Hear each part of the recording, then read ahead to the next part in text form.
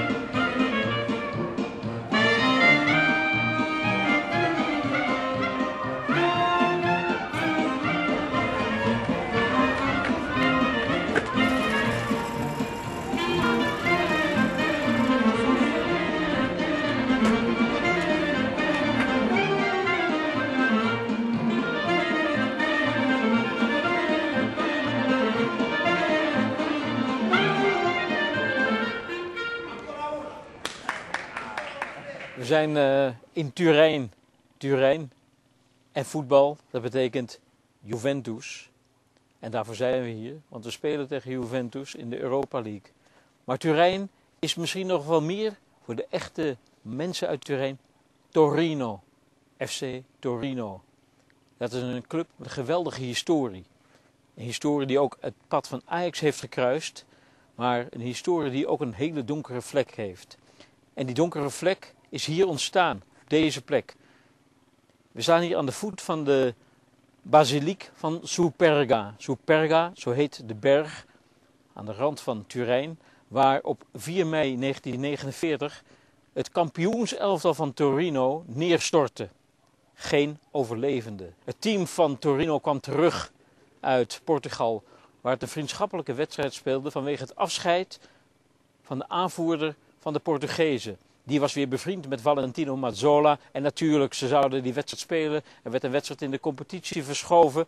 En bij terugkomst, onder slechte omstandigheden, mist, regenachtig weer, weinig zicht voor de piloot, stortte dat vliegtuig hier op deze plek zo'n beetje neer. Het nieuws verspreidde zich snel in Turijn. Mensen raakten in paniek, geloofden het niet. En de slingerweg die leidt van Turijn hier naar Superga was gevuld met mensen, niet alleen nieuwsgierige mensen, maar mensen die wilden helpen, die wilden weten dat het niet zo was. Maar het was dus wel zo. Het grote elftal, met al die topvoetballers, Grezar, Loic, Gabetto, Bacigalupo, Ballerin, allemaal dood, allemaal weg. Een zwarte bladzijde natuurlijk in de geschiedenis van Torino. Hetzelfde Torino dat Ajax later tegenkwam in 1992 in de finale van de UEFA Cup. Die finale van 92 werd gespeeld in Stadio delle Alpi. De wedstrijd van vandaag tegen Juventus is in het Stadio Olimpico. De wedstrijd is aan Ajax-zijde uitverkocht. En de steun van 1500 Ajax-supporters kan de ploeg van Jol goed gebruiken, want de uitgangspositie is niet ideaal. De eerste wedstrijd was voor ons eh, van eminent belang. Alleen, eh, ja, dat is eh, niet ideaal als je twee doelpunten tegenkrijgt in zo'n wedstrijd. Je weet dat je eigenlijk met één doelpunt is het al vervelend. Maar we zullen proberen om het uh, recht te breien. En fris van de lever spelen.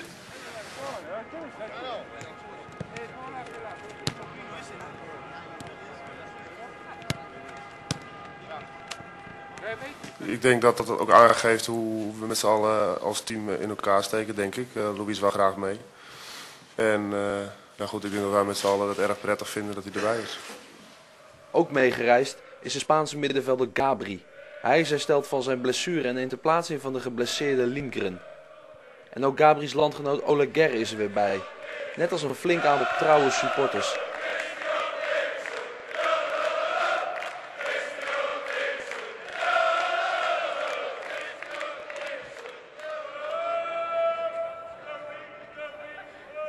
Terwijl Jan Vertongen lacht om de liedjes over Toby Alderwereld, denkt Maarten Stekelenburg dat de overwinning van Juve vorige week weinig uitmaakt voor de speelwijze van de Italianen. Nou, ik denk niet zozeer dat ze heel veel anders gaan doen morgen dan, dan vorige week. Ik eh, denk ook dat dat hun kwaliteit is. En dat ze in principe bijna altijd zo spelen. En ja, goed, eh, morgen hoeven ze in principe ook niet. Dat bedoel ik, mensen hoeven niet aan te vallen. Dus in principe kunnen ze vanuit hun kwaliteit spelen. En dat op zich zal er niet, vrij- niet veel veranderen met vorige week. In de Italiaanse media stond vandaag een artikel over Gregory van der Wiel. Hij zou flink in de belangstelling staan van Juventus. Desgevraagd steekt Jol de loftrompet uit over zijn rechtsback. Hij eh, speelt al in Oranje, in het nationale elftal. En ik moet zeggen, ik heb eh,